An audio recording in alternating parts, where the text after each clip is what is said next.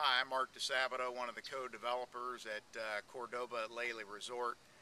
Uh, we're standing here on lot 31 uh, here at Cordoba. Uh, what I wanted to show you today is just this beautiful lot and uh, what our lake lots have to offer. On this particular lot, as you look uh, to the north, you can look up the number 9 fairway of the Classics uh, private golf club, which is right across the street within walking distance uh, of our development. Um, you can see that we have a number one tee box, and then we have the number nine green uh, right here, all off of lot 31.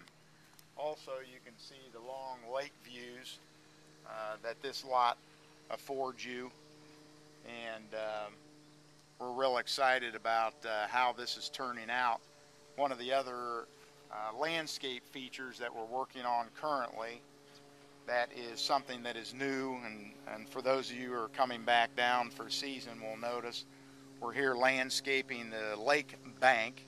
Uh, we're putting in our grasses uh, as well as the uh, pine straw which gives you a phenomenal backdrop uh, behind these lake lots uh, you can see the gentleman down here to the right, or, or left, excuse me, from Sunny Grove uh, Landscaping, one of the top companies here in southwest Florida.